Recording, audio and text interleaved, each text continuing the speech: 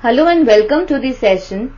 In this session we are going to discuss the following question and the question says that find the solution of the given system of equations and the equations are y is equal to x square and y is equal to modulus of x.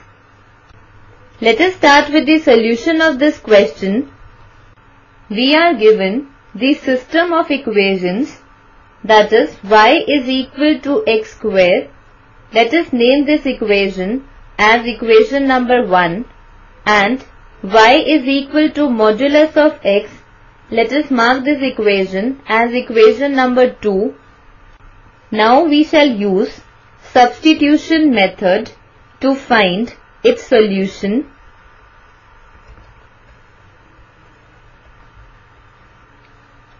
We know that the solution of equations y is equal to f of x and y is equal to g of x is given by the equation f of x is equal to g of x. So here first equation is y is equal to f of x and second equation is y is equal to g of x. So we have x square is equal to modulus of x and we know that modulus of x is equal to plus minus of x. So this implies that x square is equal to plus minus of x. From here we have two set of equations that is x square is equal to x and x square is equal to minus of x. So first we solve the equation x square is equal to x which implies that x square minus x is equal to 0. Now taking x common from both these terms we get x into x minus 1 the whole is equal to 0 which implies that the value of x is either 0 or 1 now we shall solve the other equation given by x square is equal to minus of x.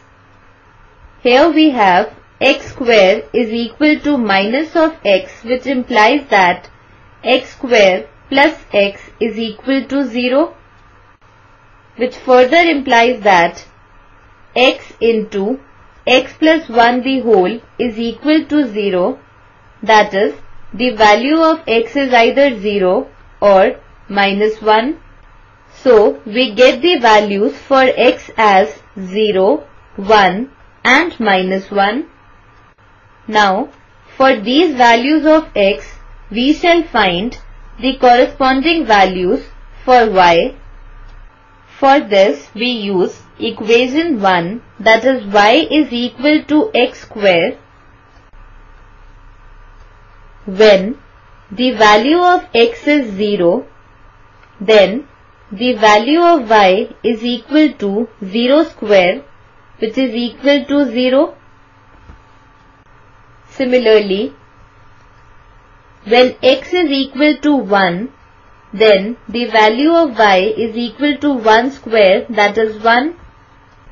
Also, when x is equal to minus 1, then the value of y is equal to minus 1 whole square that is equal to 1. So, the three points are 0, 0,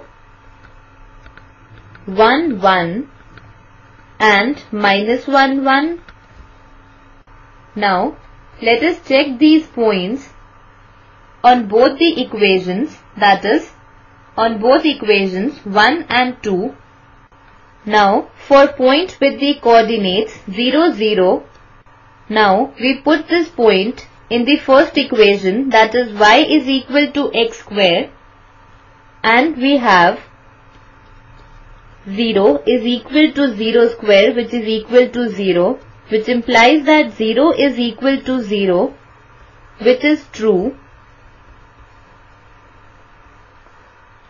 Now we put this point in the equation y is equal to modulus of x that is 0 is equal to modulus of 0 that is 0. So we have 0 is equal to 0 which is true. So we say that the point with coordinates 0 0 is the solution.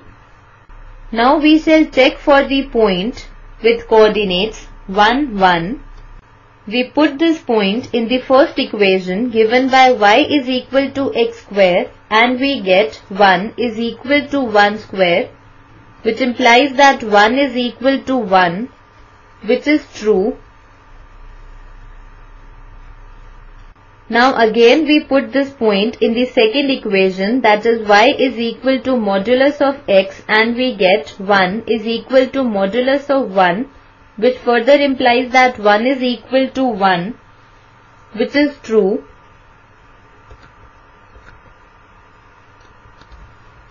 So this point with the coordinates 1 1 is the solution. Lastly we shall check for the point with the coordinates minus 1 1. Now we put this point in the first equation given by y is equal to x square and we get 1 is equal to minus 1 whole square which implies that 1 is equal to 1 which is true. Now we put this point in the second equation that is y is equal to modulus of x and we get 1 is equal to modulus of minus 1 which further implies that 1 is equal to 1 as modulus of minus 1 is also 1 so this is also true. So we say that this point with the coordinates minus 1 1 is also the solution of the given system. Thus, solution set is the set containing ordered pairs 0 0, 1 1, minus 1 1.